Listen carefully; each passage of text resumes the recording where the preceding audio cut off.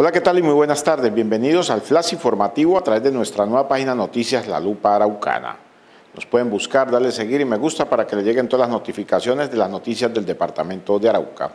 Hoy es 29 de agosto del año 2022. Saludamos ya a todos los que se conectan a través de nuestras redes sociales y entrando en el desarrollo de las principales noticias del día, el INPE reactivará nuevamente la campaña del Inquirno Paga esta campaña consiste en llevar a los estudiantes de las diferentes instituciones educativas a la cárcel de Arauca para que conozcan cómo se encuentran las personas que se encuentran privadas de la libertad.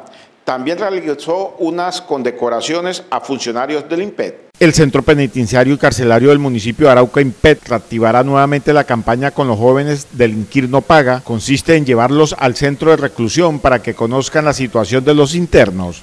En este establecimiento penitenciario, que es el único que se encuentra aquí en el departamento de Arauca, hemos venido desempeñando eh, con los colegios, renovando después de, de la pandemia, el programa Delinquir no paga, donde estamos llevando los chicos de los grados para que conozcan el establecimiento y sepan cómo es el, diario vivir de una persona recluida. Y es importante para que ellos entiendan el, problema de que delinquir. También hemos venido haciendo con las diferentes entidades como la alcaldía y todo, las diferentes labores de codietanidad con la población carcelaria, como son encuentros deportivos y encuentros culturales.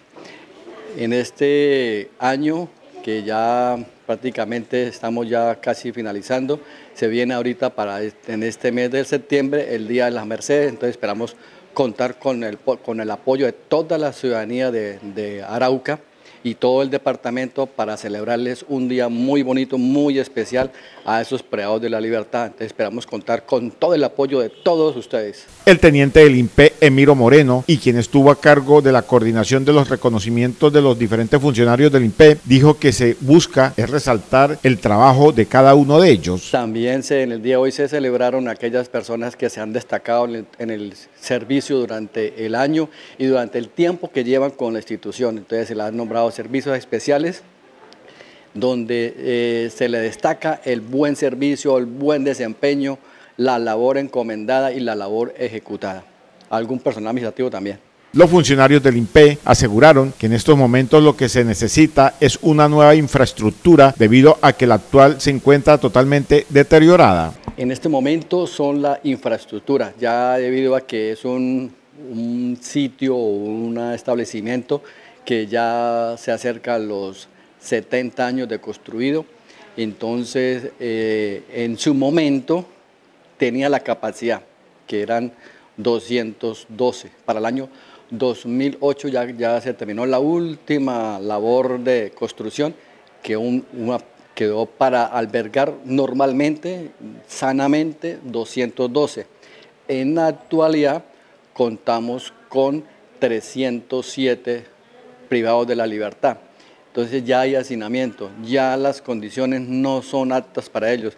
Se requiere construir ya o ampliar los, los sitios de albergue, entonces estamos, eh, esa es la mayor prioridad, la construcción. La campaña del Inquir no paga continuará por las diferentes instituciones educativas de la capital del departamento de Arauca.